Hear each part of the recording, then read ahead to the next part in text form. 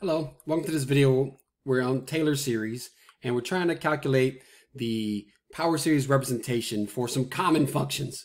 In the previous video, we calculated the Taylor series for e to the x and for sine of x.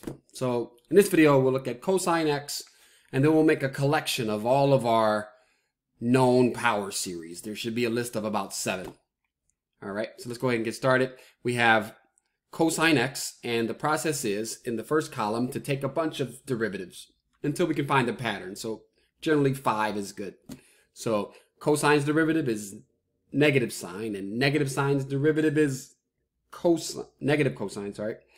Negative cosine's derivative, positive sine of x, and then sine x's derivative is cosine, and we're back to where we started at. If we take the next one, it'll be negative sine x. In the second column, what we do is we evaluate at x equals a. In this case, a is 0. So we'll just plug a 0 into these. Cosine of 0 is a 1. But the sine of 0 is a 0. Cosine 0 is a 1, but there's a negative in front, so negative 1. Sine of 0 is 0. So we're losing all of the odd terms. And in the even terms, we're going back and forth between 1 and minus 1. Fifth derivative at 0 is 0.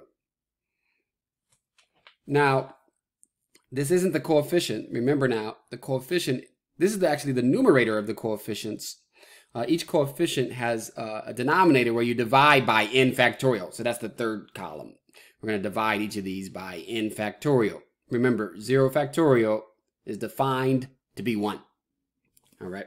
So 1 divided by 1 is 1.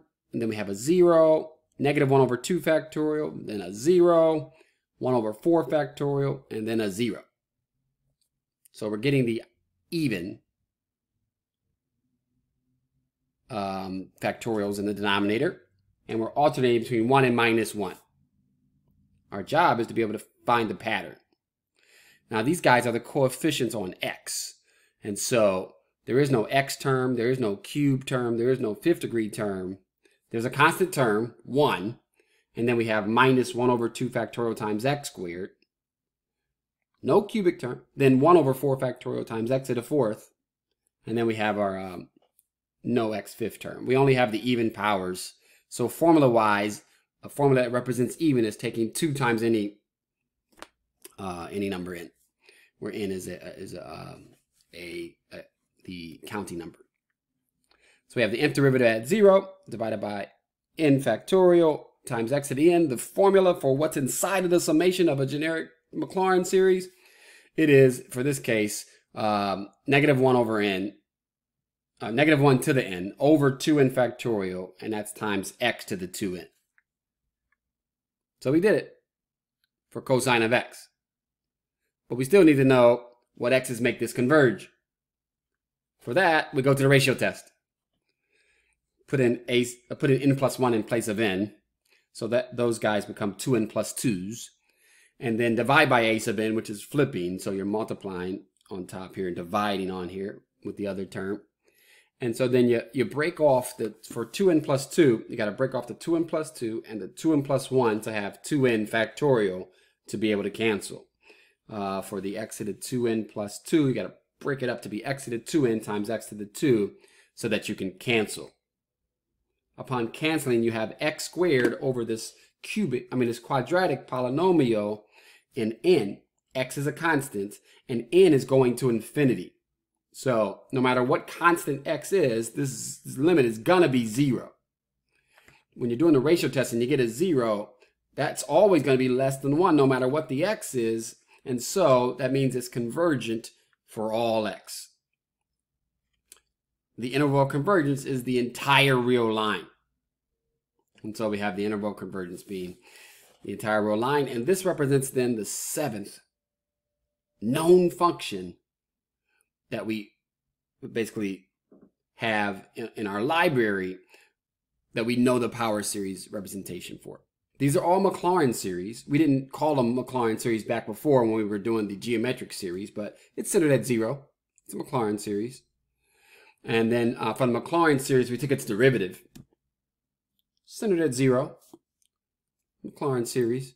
Uh, for, for the geometric series, we took the derivative and then for the um, go back to the geometric series, uh, alter it into be 1 plus x in the denominator, and then integrate it. We have natural log of 1 plus x. Um, technically, you can converge at 1, but definitely not at negative 1. Just look at the function, try to plug a negative 1 into that. Um, and then we went back to the uh, geometric series and altered it to be 1 over 1 plus x squared, and then integrated it so that we can have arctan x, um, the power series for arctan x. And these are all Maclaurin series. They're all powers of x. Um, um, we have the interval of convergence. That's what IOC stands for afterwards. And so this was in a previous lecture. Um, and now in this set of lecture, this lecture series here, we're looking at these, these um, more common functions. We have e to the x, we have sine x, and now we have cosine x. Uh, these guys happen to be all um, convergent for all x. The interval convergence, the entire real line.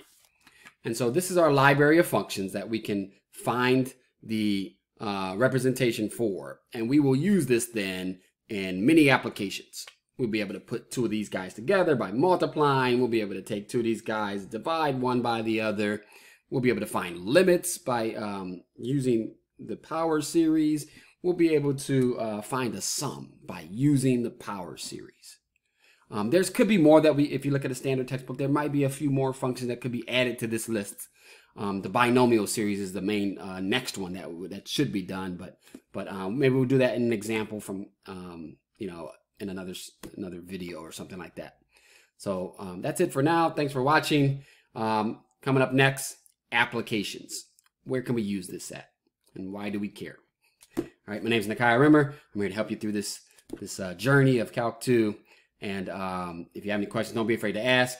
Comment down below, like and subscribe, and uh, I will see you in the next video. Take care.